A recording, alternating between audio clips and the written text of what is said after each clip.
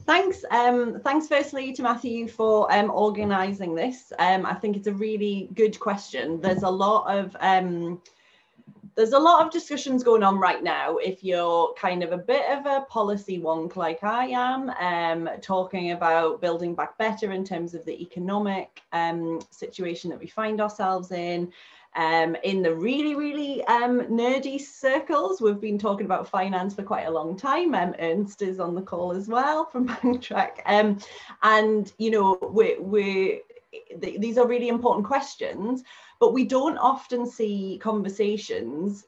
It's it tends to be like finance in general or banks in general, maybe on the global level, maybe on the European level, maybe on the UK level. But I think to actually look at Scotland, um, which is the, the purpose of tonight. So um, is, I think, a really interesting one. Um, we are part of the UK regulatory system, but where for me where there is a community of practice of things which there is in Scotland um, Scotland has has its own big old history um, I haven't got the book in here but downstairs I've got a huge huge big tome about the history of Scottish banking and you know that there is a whole history of innovation of um, not always good innovation um, but in, in Scottish banking and, and, and leading the way and um, there's some good things as well um, in, in that sort of past history. So I don't want to talk for long because we've got some really interesting speakers tonight but what I wanted to do because we might have a range of people who are participating in, in this call um, and what I always like to do um, is so the, the, the, the, title of tonight was Scotland's finance sector, friend or foe in the climate fight.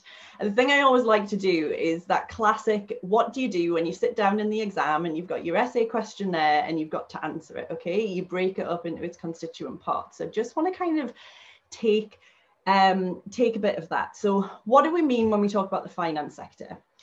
Now, when we get into the meat of it, there are very different parts of what makes up finance. Um, so you have banks. So banks can be as simple as the place where you put your money in and take your money out and have your direct debits going back and forth and things like that. But banks also tend to manage assets. They give loans out. Who they give loans out to kind of matters, and who they don't give loans out to matters. Then you have a whole, so there's a whole banking sector, which is part of finance. Then there's kind of finance more broadly where we have investors. So on the call tonight, we have Andrew um, Cave here from Baillie Gifford, and they are an active investment firm, which is the idea that they, he will tell you more about it, but that you would put your money in there and those investors will actively seek out companies to invest in, to work with in the hope that those companies will grow and create more money and more value and that will be good for you and for your money and your investments that have, that have gone in. Um, other types of investors we have we have also on the call and we have david here from lothian pension fund. So a lot of people most a lot of people won't ever have any money to invest except through things like their pension funds all right? So i've i finished a phd at age 30 four or five i can't even remember now i've reached that that sort of age. Um but i up until like recently i've never had any extra money okay? So so but most people will have in some form some kind of pension funds especially now you have in auto enrollment and things like that. And pension funds decide similarly what to do with your money where do they put it so that by the time you retire um you have some money to live off. And the really interesting thing I think with pension funds, they, um, and maybe we'll get into this later on, but for me, when I retire, I want to retire on a healthy planet where basically everything's not on fire and it's not a kind of children of men situation. Like I, it doesn't matter to me exactly how much money I've got, but I need to be able to enjoy that on a healthy planet. Um, so I think there's a, there's kind of some extra ethical things in there with pension funds um, that aren't normally there. There are some other key players um, which you don't have on the call tonight. So we have regulators. So in the UK, we have the um, Financial Conduct Authority and um, we have the Prudential Regulation Authority, and we also have our central bank. Um, and they sort of set the rules of the game. Um, so that might be something that we need to talk about later on when we're talking about who and where um, action, more action might need to be taken. Um, and you also have things like industry bodies and um, kind of groups that come together around things. So there are some positive groups in the UK. There's the um, things like the financial, uh, the task force on climate related financial disclosures, which um, we'll, we'll maybe we'll maybe sort of talk about. Um, and there's also things like the Green Finance Initiative, um, which is trying to look at different ways to do this. So if we break down the essay question, if that's what the finance sector is and there's different players within that, why is it important? So for me, I would say it's important for, there's kind of two main sides to the coin.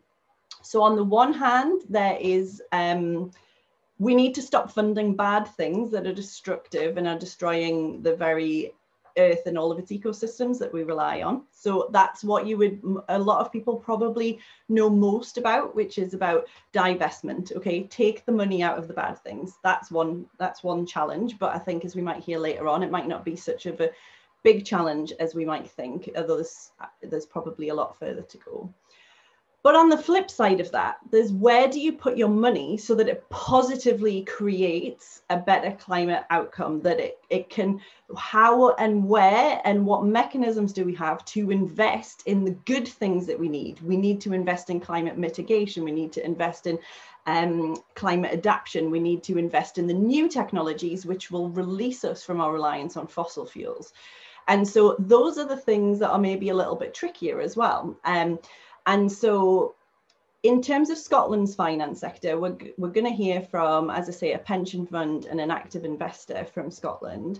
And we're also going to get that, that slightly wider look from, from Ernst from BankTrack. But the other, the other big thing in Scotland, which is going to be happening this year, as Matthew said, is the Scottish National Investment Bank. So the other player that most countries or a lot of countries have is they have state or public investment banks and what we see in so the European Investment Bank we can we can talk about this later if there's any questions but the European Investment Bank they are heavily investing in that positive side of things so they've said they're going to finance a trillion euros um, by 2030 into positive kind of climate investments, not just taking the money out of the bad stuff, but actively fitting that finance gap of what we need for the good stuff.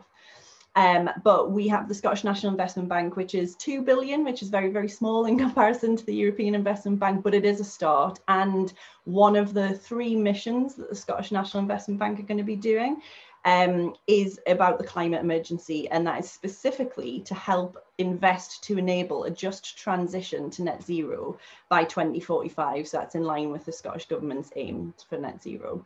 Um, so that might be something else we might want to consider in the mix and yeah I, there's there's quite a lot that we could go into in this. So you know what does good enough mean? So when we talk about friend or foe in that other part of that essay question um, I, I hope that what we'll come away with tonight and my challenge i guess to the speakers is how can we have a more nuanced idea of you know of, of what this is uh, uh, of you know finance where is it a friend and where is it a foe because it will be both at different points and the same company will be a friend and a foe at the same time most likely because these things are complicated.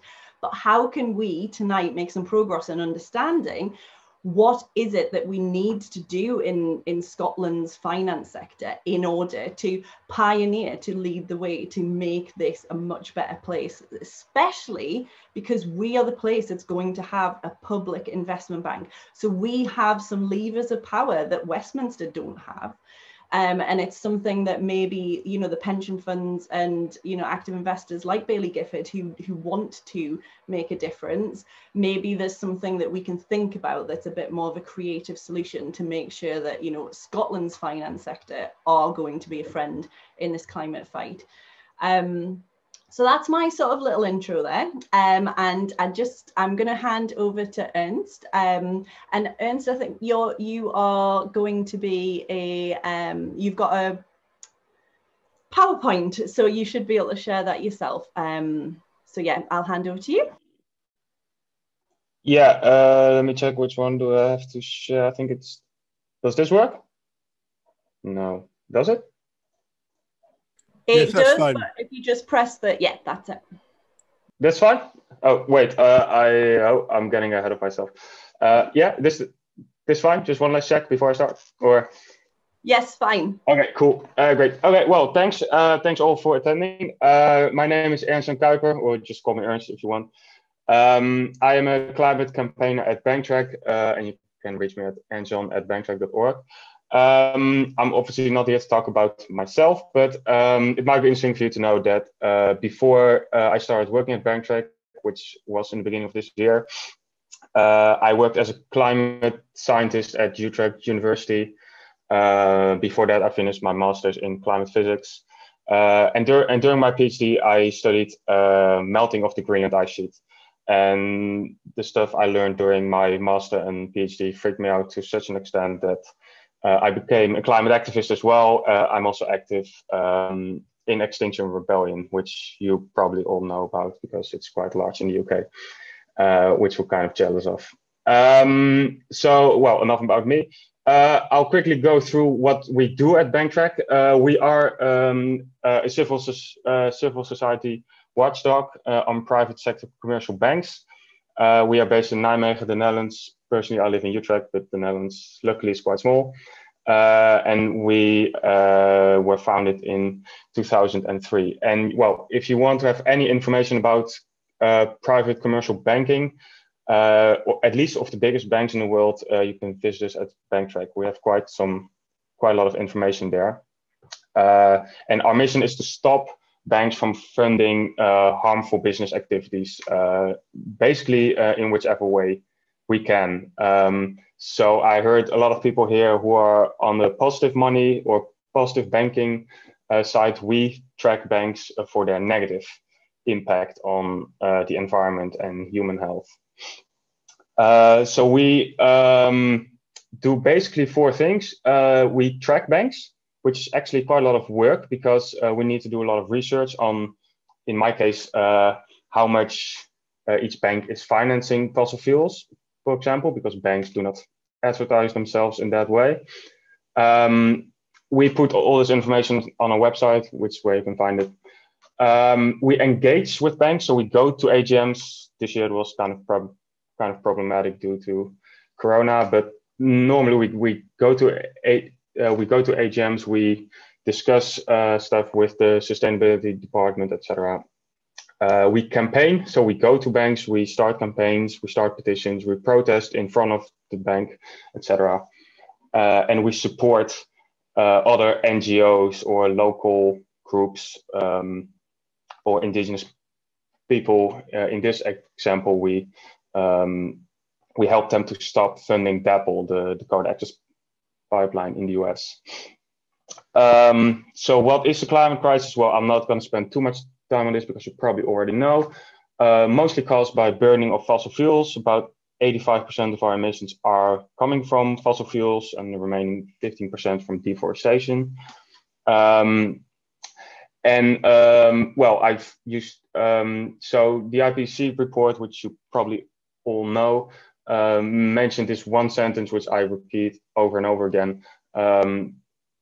Uh, it said that in order to have a, um, a 50-50 chance of staying below 1.5 degrees, we need a rapid and far-reaching and unprecedented changes in all aspects of society. Um, and I leave it up to you whether we live in a society that is experiencing these rapid and unprecedented changes. Um, so as I said, uh, in order to have a 50-50 chance of staying below the what we hope will be uh, a livable 1.5 degrees of global warming, uh, we need to um, halve our carbon dioxide emissions by 2030 compared to 2010 levels uh, and reduce them to effectively zero by 2050. So that's quite a solid benchmark um, and, and one of our demands that we have uh, at Banktrack um, for the banks that, that we follow. Um, so banks, they do a whole lo- uh, a whole variety of financial services. So they have project finance, uh, corporate loans, of course. They underwrite bonds and shares. Um, and the bank and each bank also has an asset management uh, branch, which we at Banktrack do not track um, sim- simply because, well, uh, because of the lack of capacity. Um, so we uh, check project finance, corporate loans, and underwriting of bonds and shares. Um, and we do that together with a, um, uh, a bunch of other NGOs, uh, and we release our big report, which is called Banking on Climate Change, uh, each year. Um, next year, it's going to be called Banking on Climate Chaos, by the way, in case you uh, will be looking for it next March. Uh, but this is what we got. So we follow the 35 biggest banks in the world, which uh, those are the, the JP Morgan Chases, the Barclays, the HSBCs, uh, and Royal Bank of Scotland as well. Uh, and we track how much they finance fossil fuels. And what we see is that it still increases year on year since the Paris Accord was signed. So it increases by, by roughly 30 billion a year which means that if we continue on this course, we will reach 1 trillion um, in about a decade. Uh, so, um, well, you might wonder, uh, okay, you know, we continue to, to fund fossil fuels, but we probably also need fossil fuels. Uh, that's definitely true. Uh, but then I'm, uh, but that's why I included this slide, which I think is is quite good. It's from um, it's from uh, what's called uh, Oil Change International, and it basically shows um, how much uh, the carbon budget is uh, for reaching either 1.5 or 2 degrees. Uh, and I don't want to go into too many details, but the carbon budget means how much carbon we can still emit as a human civilization, so to speak, before we reach either 1, 1.5 or 2 or 2 or 2 degrees. Um, so um, in the one over here, you can see that we have about 500 gigatons of carbon dioxide left uh, to have a 50-50 chance of reaching 1.5 degrees uh, and about 1100 um, gigatons before we have a 66% chance of staying below 2 degrees. Um, the uncertainties in these budgets are quite high, but if you take a look at, um, well, the graph on the left side is what uh, the current developed global fossil fuel reserves already have like in them in terms of carbon dioxide. So uh, those are the current oil wells, the current refineries, the pipelines, and, and all that stuff. So you can clearly see that the current developed reserves are already more than enough to pass us um, to, to blow us past 1.5 degrees. Uh, and it's almost certainly enough to pass us below 2 degrees, uh, above 2 degrees, I mean.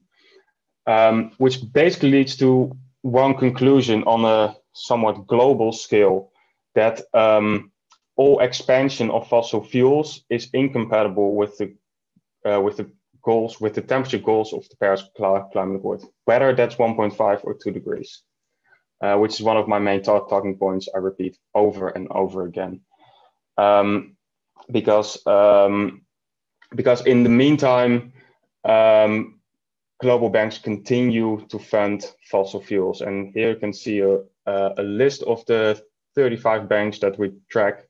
Uh, and uh, I hope it's clear. The slide is quite small, but I hope you can see it. Uh, JP Morgan Chase is by far the worst bank in the world when it comes down to funding or financing, I should say, fossil fuels. Uh, but British Barclays uh, or UK Barclays and HSBC are, uh, I think, number what is it, seven and twelve or something like that.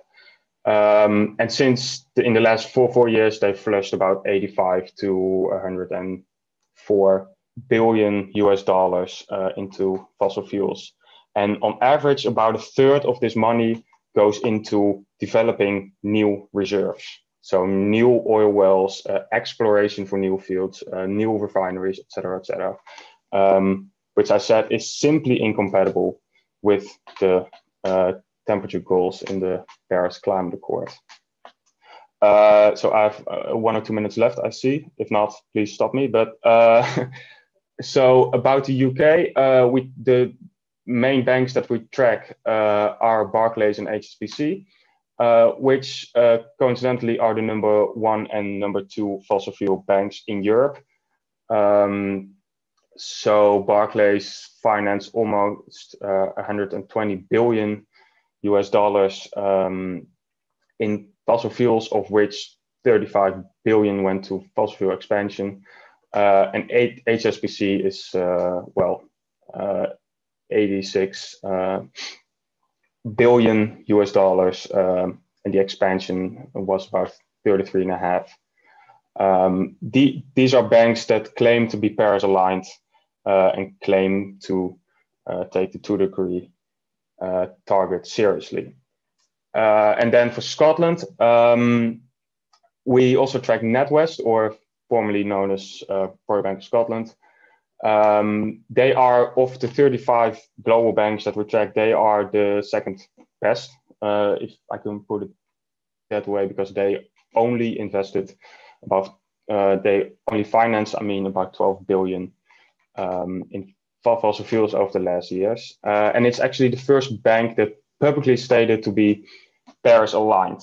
Um, I think it was in the beginning of this year in January or February uh, which we're very happy about. Uh, it's just that the bank lacks at this moment um, solid benchmarks and solid targets. So the bank is trying to figure out what it actually means to be Paris aligned, how much their finance should be reduced uh, in which year. Uh, and then there's also Lloyds, of course, uh, in Scotland, which is not one of the 35 banks that we track. So I do not have um, firm solid data on that one. Um, but it is involved uh, in some very sketchy uh, deals, which includes uh, uh the Adani coal mine. Um, uh, let's see, uh, the Trans Mountain tar sand pipeline and all that kind of stuff. Um, but they mostly focus, at least as far as I could find in the little time that I had, on insurance and reinsurance. Uh, so that's about 10 minutes, uh, I hope at least. Yeah, it is. Uh, so I'm gonna stop sharing my screen and go on to the next presenter. Does it work this way? It, yeah, it does. Yeah, if you just um, press the stop. Yeah, there you go. Brilliant. Yeah, thank oh, you. I didn't do it, but someone else did. That's fine. Great. Um, thank you very much, um, Ernst. And we'll just go straight in um, to Andrew. Um, so I'll just get you to unmute and change to yourself. So Andrew from Baillie Gifford, if you'd like to introduce yourself and you have 10 minutes. Great, thanks Gemma. Good evening everybody online. So thanks very much for having me along tonight. It's very helpful to you know, take part in a sort of an open constructive debate on these issues. And uh, although I, I, represent Baillie Gifford, uh, I, I, you know, I did previously work for RBS, so happy to take a few questions about banking as well afterwards if that's if that's a value although obviously can't give an, an official position on where rbs is today. So my, my background i've been working in this field about 20 years. I uh, took a, a master's in economic development policy in london soas about 20 years ago and as i was sort of coming out of that master's the, the fledgling field of corporate sustainability was just opening up and i was sort of interested in working in that uh, working on sustainability issues from from the, the corporate side, and it's you know it's been sort of non-stop ever since. So uh, my my first role in that in that field was at RBS, where um, I joined RBS when it was growing very rapidly in the early 2000s, and uh, went on to become the world's biggest bank by balance sheet, uh, which actually wasn't a great place to be in 2008 when the financial crisis hit, and uh, RBS needed a, a massive state aid bailout. But one of the things RBS uh, had uh, done along the way was it had built up a very large project finance business, and uh, one of its sub businesses uh, made some, you know, um, play out of the fact that it was the largest lender to oil and gas, and you know, booked the website and everything. It was also uh, at the time when it was um, when it blew up effectively. It was also the largest uh, financer of renewables uh, of its kind as well. But um, you know, that sort of got lost in the noise. Anyway, t- tonight I'm, I'm just going to say a little bit about the investment management sector, which people don't really um, understand very well. They often confuse it with investment um, banks, who do a different role. Investment banks um, help companies with all sorts of activities in the markets, like uh, you know raising new equity and you know listing on stock markets, that kind of thing. uh, as well as a whole range of other services. We don't do that. Baillie Gifford are a 112 year old investment manager. We're actually a very vanilla business. We, we just do one thing and we try and do it well, which is long term equity investing.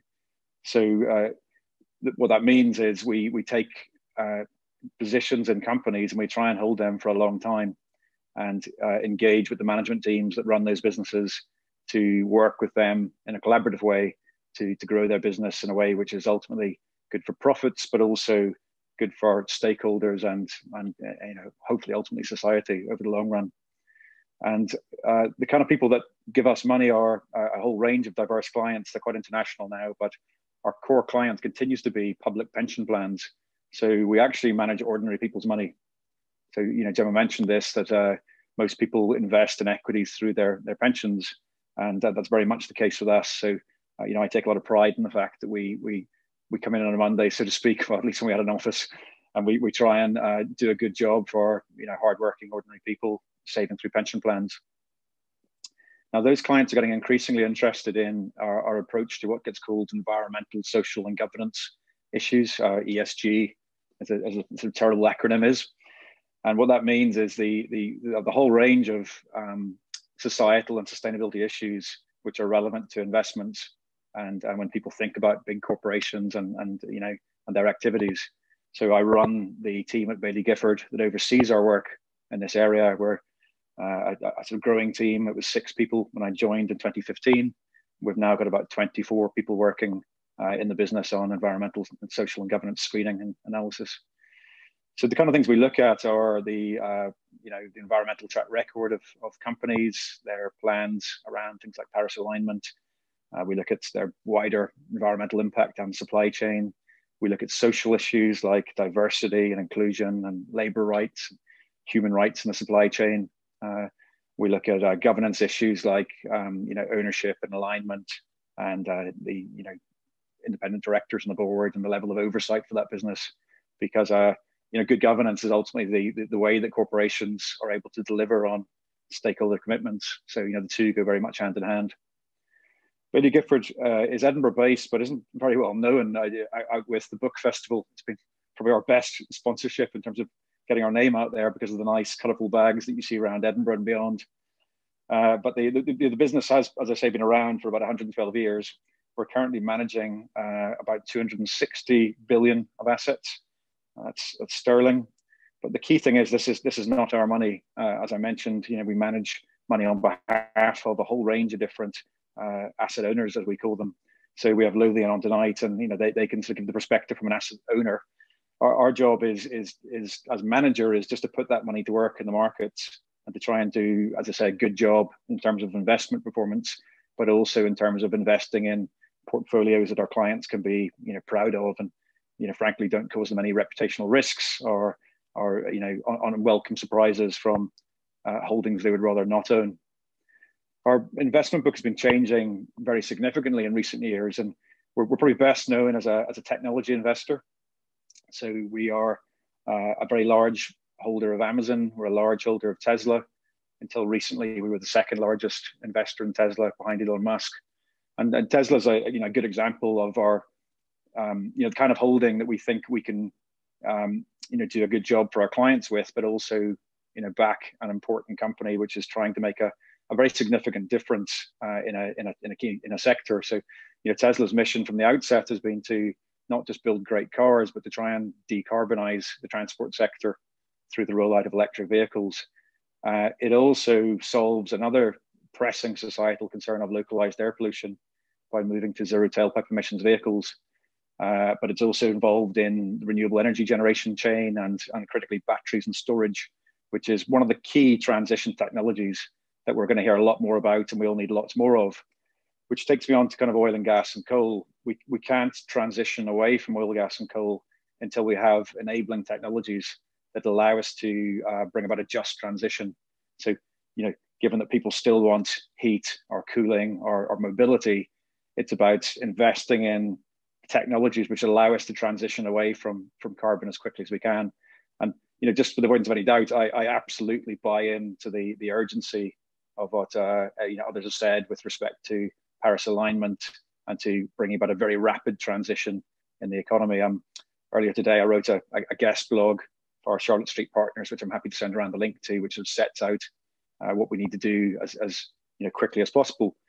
And one of the things I think to, to to to sort of get across is this isn't just about incremental changes to the economy, uh, making sort of five to ten percent adjustments to to our existing uh, way of life and, and sort of international trade patterns.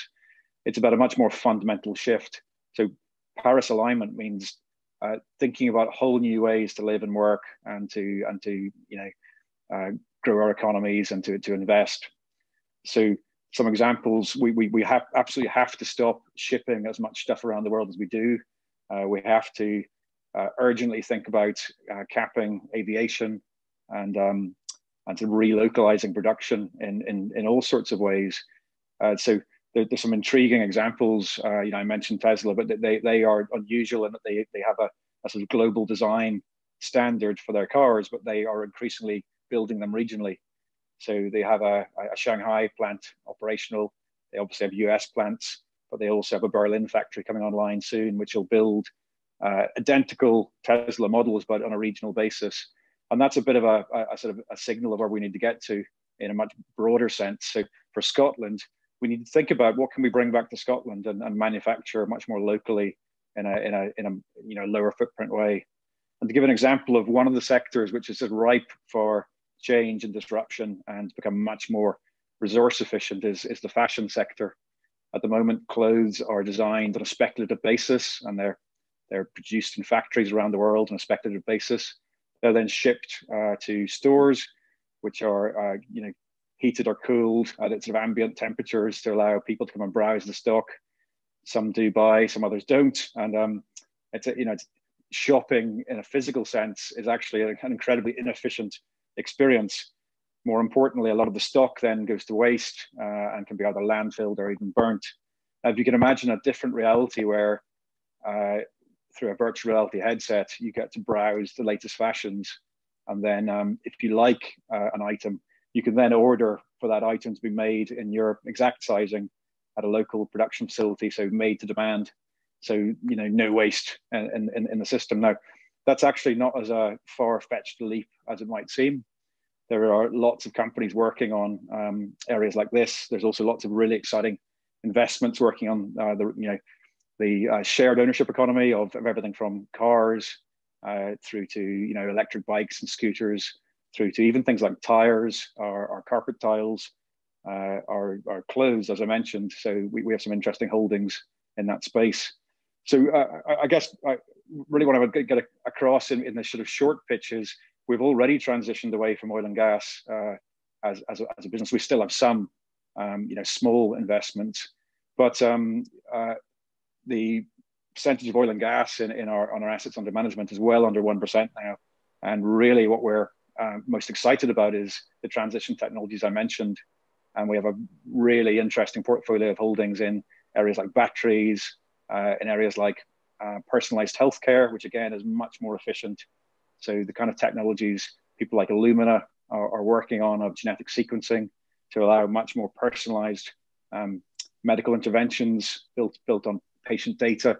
That all has the potential to become a, a quantum leap more efficient than the existing healthcare services we have today. So I think there's, there's, there's lots to be excited about. There's, there's a huge amount of challenge, but uh, you know we're beginning to see a very strong client interest in transitioning in this way, and for that reason, we're beginning to roll out our own uh, products, which are uh, looking at you know Paris alignment and and you know building that in to their methodologies, and or we're seeing you know very in, you know very healthy client interest in some of those products. So the you know the, the big change is beginning to happen, and I think the really the the challenge for all of us is to think about how can we accelerate that now very rapidly and uh, really make best advantage of the next two decades. So I think I'll stop there. Right. Thank you so much, Andrew. And yes, I think people would love to have sight of that blog. So if you wouldn't mind when you get a chance to pop that in the chat, um, that would be great. Um, and finally, I'm going to, last but not least, I'm going to hand over to David. Um, let me just get you up there. Um, David is from Lothian Pension Fund, um, and you can tell us a bit about um, who you are and what you do. Great, thanks. Thanks, Gemma, and thanks to uh, Ernst Jan and Andrew uh, for those talks. Really uh, interesting stuff. Uh, so my name's David Hickey. I am a um, European equity manager at Lothian Pension Fund. Um, I'm also the lead for Lothian on all matters RI, so that's responsible uh, investment. Um, now, Lothian Pension Fund is the local government pension scheme for um, Edinburgh, and the surrounding areas. We have many different uh, employers um, that we provide uh, our pensions for. Um, we manage assets of around £8 billion on behalf of over 90,000 members. And echoing what Andrew was saying, we're talking about normal people here. We're talking teaching assistants, we're talking refuse collectors, we're talking lollipop men and ladies. That is our um, that is our uh, member base. Um, we're not talking uh, hugely rich people. You know, these are, are people that will, you know, spend um, long working lives, uh, working up these defined benefit pensions um, to to see them through retirement. Now, um, Gemma mentioned uh, earlier in her um, introduction that she herself has a pension and she would be willing to uh, to take a cut, take a hit, uh, as it were, um, to um, to invest in different things, green things, or or stuff that, that she more uh, closely uh, aligned her values with. Well, when you're a member of a, a defined benefit scheme like um, Lothian Pension Fund, you are not building up a pension pot. What you're doing is every year you get a little bit more of your um, salary as pension. So for, for someone like me who is a current member, I get 149th each year of my average salary throughout my career with uh, with Lothian Pension Fund. So that means that there is um, that there is effectively no risk for the members. You know, they're promised an amount of money, and our number one priority, our number one fiduciary duty, is to pay that pension in full and on time. Now, because the members don't have a risk, um, they don't really have a massive say in what we do and what we don't invest in um, because you know essentially they're not taking the risk. We have to manage the risk on their behalf and that means investing in things that we think will provide a good return. Now having said that we are very very much committed to good stewardship. Now good stewardship for us means that we manage the risks of environmental, social, and governance issues that Andrew has already touched on, um, that we engage with our companies to make sure that they're doing the right things, that we vote when we don't think they're doing the right things. Um, to detail that, we launched um, a document called the Statement for Responsible Investment Principles this summer. And that details asset class by asset class what we think um, is a, a reasonable uh, approach to the various asset classes. And we've already talked about equities, but there are also bonds, there's properties, there's what call real assets. So these are things like infrastructure projects, private things, wind farms, um, electricity networks, things like all these different things that we own as a pension fund. Um, so I'm going to um, take a, a, a little uh, segue into different uh, subject. We, we've mentioned the word funding quite a lot here. Um, people talk about funding things through the pension fund. Now, for me, funding means one thing. It means the allocation of capital into a business. That is funding. Now, when you're investing in things like equities, um, you are buying something that already exists effectively. So when you buy equities, you buy them in what we call the secondary market you buy them on the stock market and then you hold them and you're getting given two things essentially there. You're given the rights of ownership which uh, allow you to have a dividend from that company and you're allowed to vote at the agms what it doesn't do is it doesn't change the funding position of the company. So if i invest in tesla or if i invest in shell it doesn't change the the amount of money that they have to invest in their products and services and their plants, etc., etc. So this is why we are not fans of uh, the divestment argument, because for us, divesting is not taking money out of those companies. It's simply selling your ownership onto another owner. And that owner may not be a responsible investor and may not actually be interested in climate change at all and, and all these things that we look at in our uh, ESG policies.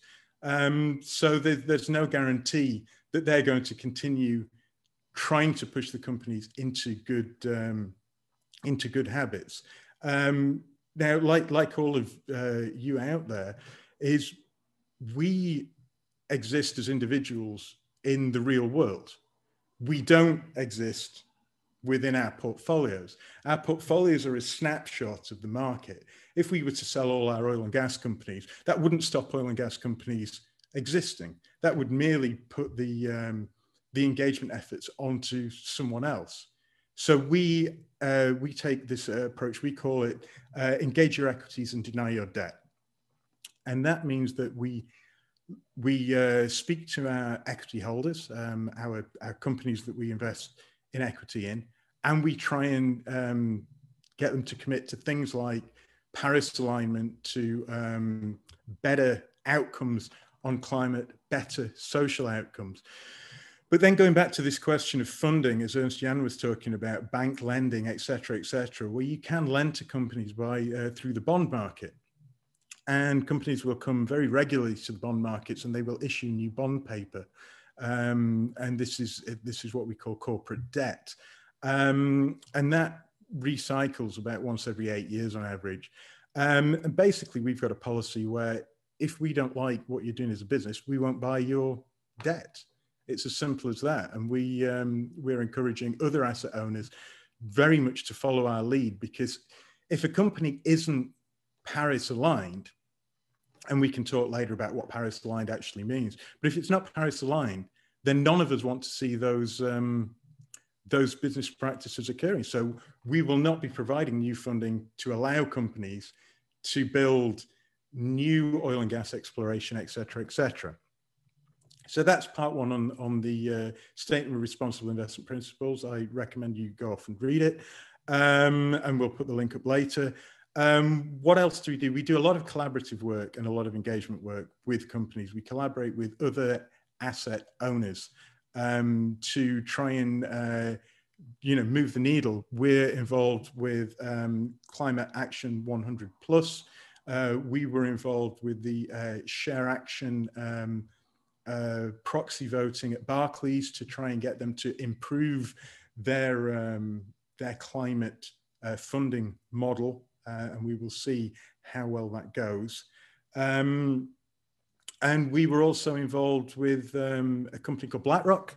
Uh, BlackRock are the world's largest uh, investment house. So uh, Andrew said Baillie Gifford run in excess of 200 million uh, pounds. BlackRock run almost 8 billion, uh, 8, sorry, 8 trillion uh, dollars in assets under management. And through um, direct engagement carried out by myself alongside others, with the uh, executive board of BlackRock, we were able to get them to, to join Climate Action 100, which is a, a collective investment, uh, collective engagement initiative targeting the 167 largest emitters in the world to uh, improve their record, to try and pivot towards uh, Paris alignment, um, and bringing in this kind of extra uh, muscle to the argument, taking that up to 45 trillion in uh,